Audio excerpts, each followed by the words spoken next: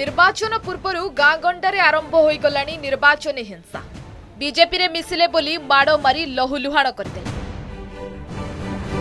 ବାପାଙ୍କୁ ମାଡ଼ ମାରିବା ଦେଖି ଧାଇଁଗଲେ ଦୁଇ ଝିଅ ତାଙ୍କୁ ମାଡ଼ ମାରିଲେ। କଂଗ୍ରେସ କର୍ମୀ କହିଲେ ଦଳରେ ଥିଲେ କାହିଁକି ବିଜେପିକୁ ଗଲେ? ଏବେ କେତେଜଣ ହସ୍ପିଟାଲରେ ଅଛନ୍ତି ଆଉ କେତେଜଣ ଥାନାର ଦ୍ୱାରସ୍ଥ ହୋଇଛନ୍ତି। କଂଗ୍ରେସ କର୍ମୀଙ୍କ ବିରୋଧରେ ଏଭଳି କିଛି ସାଂଘାତିକ ଅଭିଯୋଗ ଆଣିଛନ୍ତି ବିଜେପି କର୍ମୀ। ମାତ୍ର ଆଉ ଦିନ କେଇଟା ପରେ ସାଧାରଣ ନିର୍ବାଚନ କିନ୍ତୁ ରକ୍ତାକ୍ତ ହେଲେଣି ଲୋକେ ଭଦ୍ରକ ଜିଲ୍ଲା ବାସୁଦେବପୁର ଥାନା ଅଧୀନସ୍ଥ ଗୁଆଗଡ଼ିଆ ଗ୍ରାମ ପଞ୍ଚାୟତ ଚିରଳ ଗାଁର ଚାରୋଟି ପରିବାର ବିଜେପିରେ ମିଶିବାରୁ ସ୍ଥାନୀୟ କଂଗ୍ରେସ କର୍ମୀ ମାଡ଼ ମାରି ଲହୁଲୁହାଣ କରିଥିବା ଅଭିଯୋଗ ହୋଇଛି।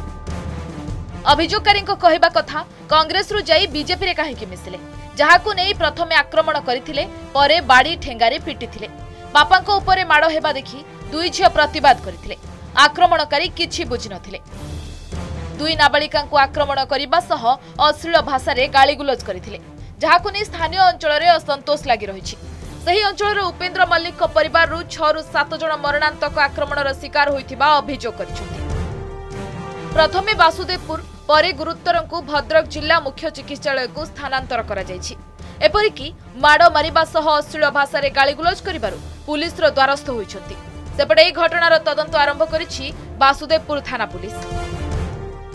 ଥାନା ଆମ ମାଡ଼ ହେଲା ବୋଲି ଆମେ ଆସିଛୁ ଆମେ ଯେଉଁ ବିଜେପି ଦଳର ଆମେ କଂଗ୍ରେସର ଥିଲୁ ଆମେ କଂଗ୍ରେସର କିଛି ପାଇଲୁନି ନ ପାଇବା ସକାଶେ ଆମେ କେମିତି ଦଳ ଚେଞ୍ଜ କରିମୁ କହିକି ଆମେ ବିଜେପି ଦଳର ମିଶିବା ପାଇଁ ଆମେ ଏ, ସେ- ସିଦ୍ଧାନ୍ତ କଲୁ ତାପରେ ସେ ଆସିକି ସେଇ ବାବଦକୁ ସେ ଚିନ୍ତା କରି ଆମ କଂଗ୍ରେସ ଦଳର ଥିଲ କାହିଁକି ତୁମେ ବିଜେପି ବିଜେପିର ମିଶିବ? କହିକି ସେ ଆସିକି ଆମକୁ ମରାଧରା କଲେ ପିଟାପିଟି କରତେ କରତେ ଆମ ଝିଅ ଛୁଆ ଉଁ, ଚିଲ୍ଲା ସମସ୍ତଙ୍କୁ ପିଟେଇ ଗଲେ ଆଠ ଦଶ ଜଣଙ୍କୁ ସେ ପିଟି ଦେଇଗଲେ ଆସିଛୁ ଯେ ଏ ଆମ ସ୍ୱାମୀକି ମାରିବାର ଆମକୁ ସବୁ ହଣାଗୁଟା କରିଛନ୍ତି ସେଥିପାଇଁ ଆମେ ଆସିଛୁ ନେବା ପାଇଁ ଆସିଛୁ ମାଇଲା ଚଗୁଲ ମଳିକି ତା ପୁଅ ଶ- ଶରତ ମଳିକି ଆଉ ଗୋଟେ ପ୍ର- ପ୍ରଭାକର ମଳିକି ବଗଲା ପୁଅ ଆଉ ବାପୁନୁ ମଳିକି ନଖିଆ ପୁଅ ସେସବୁ ମାରିଲେ ଆସିକି ଆମେ ଛଡ଼ାଛଡ଼ି କରିବାରୁ ଆମକୁ ସବୁ ମାଇଲେ ମୋ ଝିଅ ଦୁଇଟା ଯାଇକି ତା ବାପାକୁ ବାଦେଲେ ମାରିଦେଲେ କହିବାରୁ ସେ କହିଲେ ତା ବାପାକୁ ଛାଡ଼ ତା ଝିଅ ଦୁଇଟାକୁ ନେଇ ଚାଲ ତାଙ୍କୁ ମାରିକି କାମ ସାରିଦେବା। ତାଙ୍କ ଅବସ୍ଥା କିଛି ଆଉ ରଖିବାନି। ତାଙ୍କୁ ଟାଣିକି ନେଇକି ବିଦା ଗୋଇଠା ଛାତି ପେଟକୁ ସବୁ ମାରିଛନ୍ତି। ସେ ଏଇକ୍ଷଣି ଭଦ୍ର- ଭଦ୍ରକ ମେଡ଼ିକାଲର ଆଡ଼ମିସନ୍ ହେଇଛନ୍ତି। ଯୋଡ଼ି ଲୋକଙ୍କୁ ଦୁଇ ଜଣଙ୍କୁ ଡାକିଥିଲୁ ସଦସ୍ୟକୁ ଦୁଇ ଜଣଙ୍କୁ ଡାକିଥିଲୁ।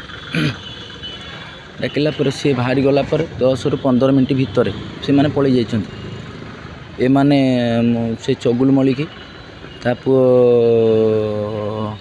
ଚିନ୍ମୟ ମଳିକି ଶରତ ମଳିକି ବାପୁନ ମଳିକି ବଗଲା ମଳିକି ଏମାନେ ଆସିକି ଏମାନେ ଆସିକି ମୋତେ ଆମ ବାଡ଼କୁ ଚାଳକୁ ରେଣ୍ଡମ ମାତ୍ରାରେ ବାଡ଼େଇଲେ। କିଏ ବାଡ଼େଇଲା ବୋଲି କିଏ ବାଡ଼େଇଲା ବୋଲି କହି କବାଟ ଖୋଲିକି ମୁଁ ପ୍ରଥମେ ଗନି ପ୍ରଥମେ ଗଲା ପରେ ମୋତେ ମାଇଲେ। ମାରିକି ଟାଣି ନେଇଗଲେ ହେଉଛି ଗଡ଼ିଆ ପାଖକୁ ଗଡ଼ିଆ ପାଖକୁ।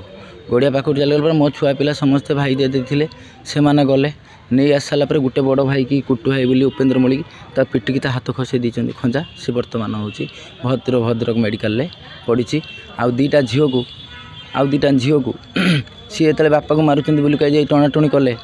କହିଲେ ରେ ୟାଙ୍କୁ ଛା- ତା ବାପାକୁ ଛାଡ଼ିଦିଅ ଛାଡ଼ିଦେଇ ଏଇ ଝିଅ ଦୁଇଟାଙ୍କୁ ନେଇଯାଅ କହିଲେ କହିଲେ ତାଙ୍କୁ ଟାଣି ଟୁଣିକି ନେଇଗଲେ। ନେଇକି ଗୁଇଠା ବିଦା ମାରିକି ସେ ଗଡ଼ିଆରେ ପକେଇକି ଭାଇ ଯେଉଁ ଅବସ୍ଥା କରିଛନ୍ତି ହିସାବ ନାହିଁ। ଯଦିଓ ଏନେଇ ପୁଲିସର କୌଣସି ପ୍ରତିକ୍ରିୟା ମିଳିପାରିନି କିନ୍ତୁ ଏହି ଘଟଣାକୁ ନେଇ ସ୍ଥାନୀୟ ଅଞ୍ଚଳରେ ଅସନ୍ତୋଷ ଲାଗି ରହିଛି। ଭୟରେ ଥାନାର ଦ୍ୱାରସ୍ଥ ହୋଇଛନ୍ତି ଆହତଙ୍କ ପରିବାର ଲୋକେ। ଏ ଘଟଣାରେ ଅଭିଯୁକ୍ତ ଓ ପୁଲିସର ପ୍ରତିକ୍ରିୟା ମିଳିପାରିନି। ବାସୁଦେବପୁରରୁ ସୂର୍ଯ୍ୟୋଦୟ ବିଶ୍ୱାଳଙ୍କ ରିପୋର୍ଟ ଓଡ଼ିଶା ରିପୋର୍ଟର।